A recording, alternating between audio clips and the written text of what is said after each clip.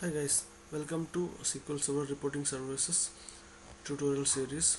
In this video, I'm going to show you how to create a uh, integer drop-down based report uh, where I will pass integer as a parameter to display the records from the database okay as a drop-down. So to do that, first go to Solution Explorer and right click on reports add new report and click give it a name give a name to your report like integer drop down parameter report okay? Click add. Increase the size and first we need to create a data source. Right click on data source and then click add data source let's give a name to our data source share data source underscore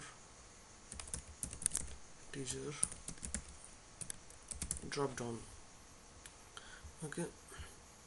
As you know I'm using share data source connection from past tutorials. So in this video also um, I'll be using share data source connection. Click OK. We can see there is a small arrow appearing on the cylinder which is referring or pointing to the shared data source which I have uh, shared data, shared data source connection which I have made at the very beginning of this tutorial series. So um, now I have created uh, my data source and now it's time to create our data sets add data sets. Then underscore sorry. Teacher. Drop down. Use a dataset embedded embedded dataset and select our share data source connection and select the query. And customer let's select the tables. So and orders orders products. Add close. Select the appropriate fields company name quantity unit price and see these uh, these all fields I'm randomly I mean uh, randomly I'm picking up just for the sake of showing one report. I'm selecting the fields. Uh, product ID product name okay. Now in filter as a uh, as I'm filtering the records based on the product ID that's why I have uh, I'm passing a product ID as a parameter at sorry product ID then as soon as I enter I will get a criteria in my query. You can see I'm selecting the, selecting these many fields and I'm joining these many tables and I'm uh, with the help of where clause and I'm making this product ID as a parameter to fetch the records from the database okay as soon as I create a filter it will appear here in a where clause. Now click OK. Click OK again. Okay now let's right click and insert a table. Just just product drag our fields product name company name quantity and unit price. Okay let's let's give it a width and give it a background color. As this one. And make it as bold.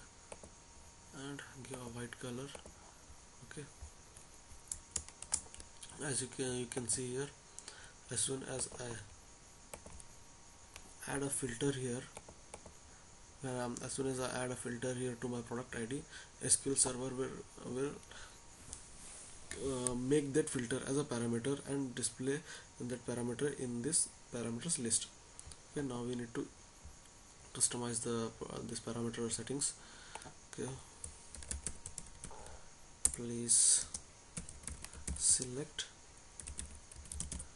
product ID okay here data type should be integer because I'm passing an integer value to my database uh, to fetch the appropriate record and uh, okay and this much okay this much is enough and click ok let's see our report.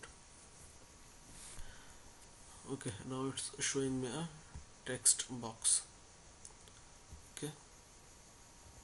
Before that I need to uh, one thing you keep in mind while if you want to create a drop down that um, drop down uh, will accept some values right?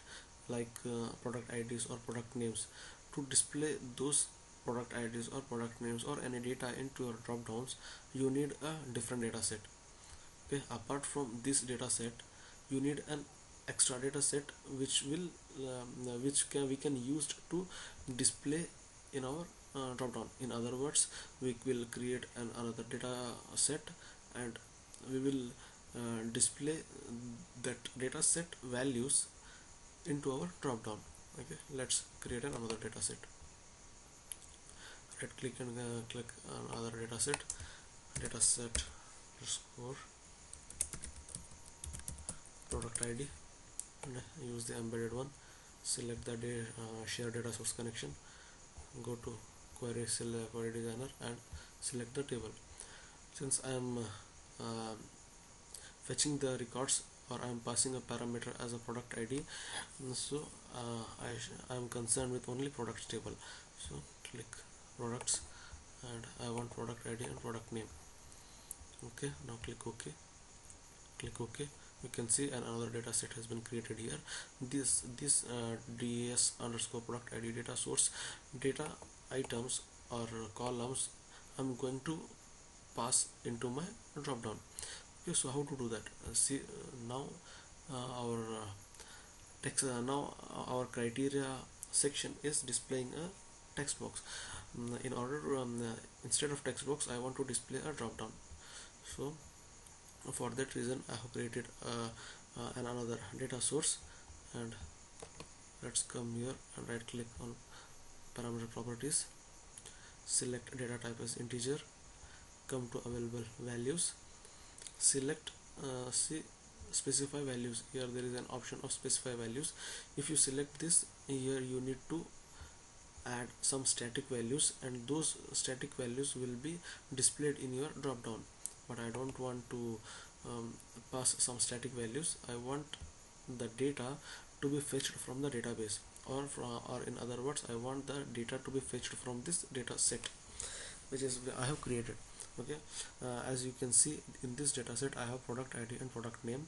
This product ID I will be passing as a value and uh, uh, both okay. Uh, actually I have uh, used product name also but it's it won't come in use because in um, both value and label I will um, display product ID okay. And get value from a query. Now select your data set so select ds product id and value will be product id and label also will be the product id because i want to display um, level product id uh, to the users and i want to pass product id product id from the background to my backend to my database to fetch the appropriate record. So click ok. Now if you uh, go to view preview your report you can see you have got a uh, drop down.